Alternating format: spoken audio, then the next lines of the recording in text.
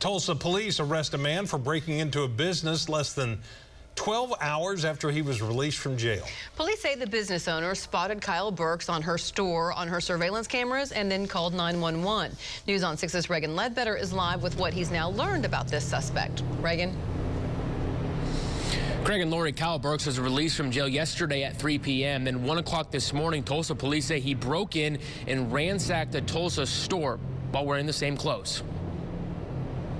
These are both of Kyle Burks' mugshots in the Tulsa County Jail just hours apart. Police say the owner of Pantera's near 14th and North Harvard got an alert from her surveillance cameras that someone was inside the store. Police say Burke smashed a jewelry case and stole items from the store. This time at night was a great time to use all of our resources. Canines on duty, helicopters still here, so they all come.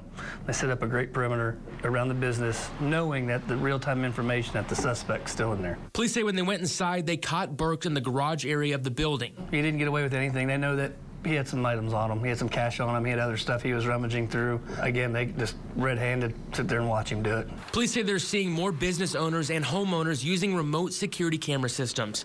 They say having video is really helping police catch suspects. But the businesses doing this and, and at least e equipping themselves with this type of systems are great. It's real time. They can be at home, get an alert, pull up your cameras and be like, yep, there's someone in there, and they directly uh, relate that to us. Now, Burks has now been booked into the Tulsa County Jail for burglary as a former convicted felon. Records show Burks has been arrested in the past for burglary and drugs.